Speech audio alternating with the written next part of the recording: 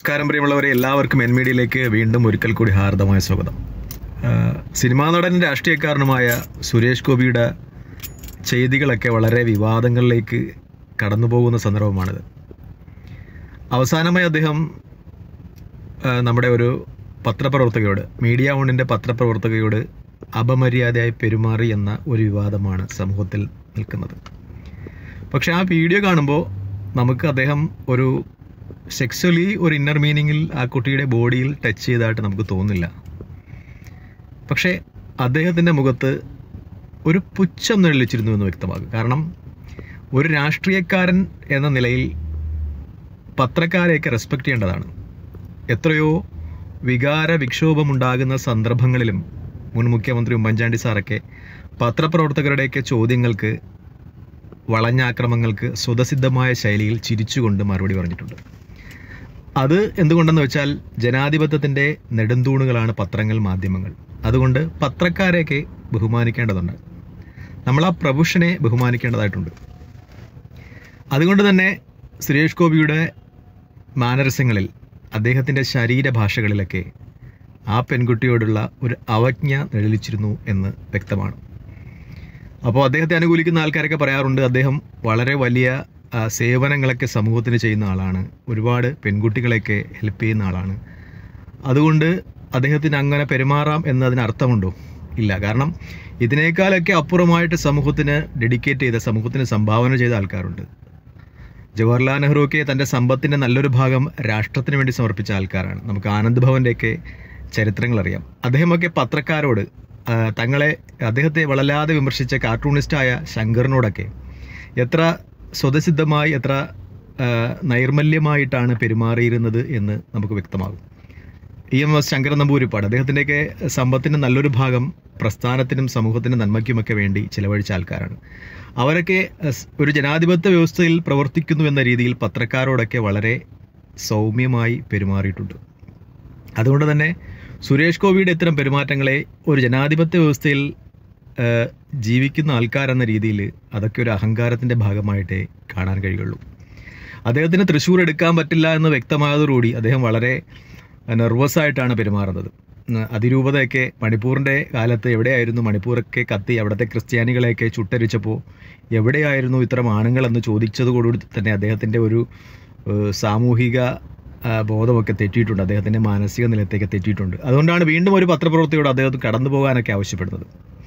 ഇവിടെ നിന്ന് മാറി നിൽക്കാനൊക്കെ ആവശ്യപ്പെടുന്നത്. പ്രിയപ്പെട്ട സുരേഷ് ഗോപി ഇത് താങ്കൾ ഒരു സിനിമ സിനിമാക്കാരനാണെങ്കിൽ ഓക്കെയാ താങ്കൾക്ക് ഇങ്ങനെ സിനിമാ സ്റ്റൈലിൽ പത്രക്കാരോടൊക്കെ ഷൗട്ട് ചെയ്യാൻ ഇറങ്ങി പോകാനൊക്കെ പറയാൻ അവകാശമുണ്ട്. കാരണം അത് സിനിമയിലൊക്കെ അങ്ങനെ സംഭവിക്കും. പക്ഷേ താങ്കൾ ഒരു എം പി ആയിരുന്ന ആളാണ്. താങ്കൾ ഇനിയും എം പി ആവണമെന്ന് ആഗ്രഹിക്കുന്ന ആളാണ്. ഇന്ത്യ ഭരിക്കുന്ന ഒരു പാർട്ടിയുടെ പ്രസ്ഥാനത്തിന്റെ വലിയ നേതാവാണ്. അപ്പോൾ താങ്കൾ ജനാധിപത്യ വ്യവസ്ഥയുടെ ഭാവ ഭാഗമായ ജനാധിപത്യത്തെ നിലനിർത്തുന്ന പത്രങ്ങളെയും ആ സ്ഥാപനങ്ങളെയും ഒക്കെ ബഹുമാനിക്കാൻ പഠിക്കേണ്ടിയിരിക്കുന്നു. നിങ്ങൾ നിങ്ങളെ പിന്താങ്ങുന്ന ആൾക്കാരൊക്കെ പറയും "ഏഹ്, എസ് ജി ഭയങ്കര എന്താണ് ജനസേവകനാണ് അദ്ദേഹം ഒരുപാട് ആൾക്കാർക്ക് സംഭാവന കൊടുക്കുന്ന ആൾക്കാരാണ്. നിങ്ങളെക്കാളുമൊക്കെ ഒരുപാട് ഒരുപാട് സംഭാവന കൊടുക്കുന്ന ആൾക്കാരുണ്ട്. സിനിമാക്കാർ തന്നെയുണ്ട് അവരെ ഒരു കൈ കൊടുക്കുന്നത് മറുകൈ അറിയാതെ ചെയ്യുന്ന ഒരുപാട് ആൾക്കാരുണ്ട്. അല്ലെങ്കിൽ തന്നെ ഒരുപാട് രാഷ്ട്രീയക്കാരുണ്ട്. ഞാൻ പറഞ്ഞു ജവഹർലാൽ നെഹ്റുവിന്റെയും ഇ എം എസ് നമ്പൂതിരിപ്പാടിനുമൊക്കെ കാര്യങ്ങൾ പറഞ്ഞു. അവരൊക്കെ സമൂഹത്തിന് വേണ്ടി ഒരുപാട് സംഭാവനകൾ ചെയ്തവരാണ്. പക്ഷേ അവരൊക്കെ പത്രക്കാരെ അല്ലെങ്കിൽ സമൂഹത്തിന്റെ നിലനിൽപ്പ് തന്നെ ഒരു ജനാധിപത്യ വ്യവസ്ഥയുടെ നിലനിൽപ്പ് തന്നെ പത്രവും കോടതിയുമൊക്കെയാണ് അവരെയൊക്കെ ബഹുമാനിക്കേണ്ടതായിട്ടുണ്ട്. അതുപോലെ തന്നെ മകളെപ്പോലെയാണെന്ന് നിങ്ങൾ പറയുന്നുണ്ട്. മകളെപ്പോലെ ആണെങ്കിൽ തന്നെയും ആ പ്രഭുഷനെ നമ്മളിപ്പോൾ ഉയർന്ന സ്ഥാനത്ത് നമ്മുടെ മകന്റെ പ്രായമുള്ള ആൾക്കാരൊക്കെ ഇരുന്ന് നമ്മൾ അവനെ എടാ മോനെ എന്ന് കയറി കെട്ടിപ്പിടിക്കാറൊന്നുമില്ലല്ലോ. നമ്മൾ ആ പ്രഭുഷനെ ബഹുമാനിക്കേണ്ടിയിരിക്കുന്നു. നിങ്ങളുടെ ഏഹ്, ചിലപ്പോൾ കെട്ടിപ്പിടുത്തങ്ങളൊക്കെ ഇഷ്ടപ്പെടുന്ന ഒരുപാട് പെൺകുട്ടികളുണ്ടാകാം. നിങ്ങൾ അവരെ ചിലപ്പോൾ നിങ്ങൾ അച്ഛനെ പോലെ ആയിരിക്കും കാണുന്നത്. പക്ഷേ പലർക്കും പല ആറ്റിറ്റ്യൂഡുകളും പല ചിന്തകളുമാണ്.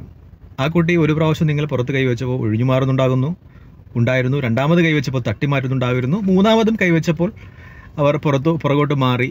അപ്പോൾ ഒന്നാമതും രണ്ടാമതും നിങ്ങൾ ചിലപ്പോൾ നിങ്ങളുടെ മനസ്സിൽ ദുർദ്ദേശങ്ങളൊന്നും ഉണ്ടായിരിക്കില്ല. പക്ഷേ ആ കുട്ടിക്ക് നിങ്ങളുടെ സ്പർശനം ഇഷ്ടമായില്ല എന്ന തിരിച്ചറിവിൽ നിന്ന് നിങ്ങൾ അത് അങ്ങനെ വീണ്ടും ശ്രമിക്കരുതായിരുന്നു. ഞാൻ നിങ്ങളെ കുറ്റം പറയുന്നതല്ല കാരണം നിങ്ങൾക്ക് അങ്ങനെ ദുരുദ്ദേശമില്ല ഇരിക്കാം. പക്ഷേ ആ, കുട്ടിക്ക് ഒരു പക്ഷേ നിങ്ങൾ അങ്ങനെ ദുരുദ്ദേശപരമായല്ല പെരുമാറിയെന്ന് തോന്നുന്നുണ്ടാകാം. പക്ഷേ ചിലപ്പോൾ നിങ്ങൾ നിങ്ങളുടെ ഒരു അധികാരപരം നിങ്ങൾ രാഷ്ട്രീയക്കാരനാണ് വലിയ രാഷ്ട്രീയക്കാരനാണ് നിങ്ങൾ വലിയ സിനിമാക്കാരനാണ്. അതിന്റെയൊക്കെ ഒരു അഹങ്കാരത്തിന്റെ പേരിൽ കുട്ടി അവഹേളിക്കുന്നതായി തോന്നിയിട്ടുണ്ടാകാം. അതുകൊണ്ടായിരിക്കാം കുട്ടി പിന്മാറാൻ ശ്രമിച്ചത് പക്ഷേ നമ്മൾ പലർക്കും പല കാഴ്ചപ്പാടുകളാണല്ലോ. ചിലർക്കൊക്കെ നിങ്ങളങ്ങനെ കെട്ടിപ്പിടിക്കുന്നതിൽ വിഷമമുണ്ടാകാതിരിക്കാം. ചിലർക്ക് നിങ്ങളെ അത് എൻജോയ് ചെയ്യുന്നുണ്ടാകാം. പക്ഷെ ആ കുട്ടിക്ക് ഇഷ്ടപ്പെട്ടില്ല. അപ്പോൾ ആ കുട്ടിയുടെ ഒരു മാനസികാവസ്ഥ എല്ലാവർക്കും വ്യക്തി സ്വാതന്ത്ര്യമുണ്ടല്ലോ. ആ കുട്ടിയെ വളരെ മോശമായ സമൂഹത്തിൽ ചിത്രീകരിക്കുന്ന ആൾക്കാരൊക്കെ അത് മനസ്സിലാക്കുക. അവർക്ക് വ്യക്തി സ്വാതന്ത്ര്യമുണ്ട്. അവർക്ക് ഒരുപക്ഷെ സുരേഷ് ഗോപി അവരുടെ ബോഡിയിൽ ടച്ച് ചെയ്ത് ഇഷ്ടപ്പെട്ടിട്ടില്ലായിരിക്കാം. അതുകൊണ്ട് അവർ പ്രതികരിച്ചിട്ടുണ്ടാകും. അപ്പോൾ അവർക്ക് അവരുടേതായ ഇഷ്ടങ്ങളും അനിഷ്ടങ്ങളും പ്രകടിപ്പിക്കാൻ ഒരു ജനാധിപത്യ വ്യവസ്ഥയിൽ അവകാശമുണ്ട് എന്ന തിരിച്ചറിവ് സുരേഷ് ഗോപിയുടെ മഹത്വം സാമൂഹിക മാധ്യമങ്ങൾ വാടി പാടി പുകഴ്ത്തുന്നത് അറിയുക. ആ കുട്ടിക്കും അവരുടെ ഇഷ്ടങ്ങളും ഇഷ്- അനിഷ്ടങ്ങളും ഉണ്ട് എന്ന തിരിച്ചറിവുണ്ടാകുക നന്ദി നമസ്കാരം. ജയ് ഹിന്ദ്.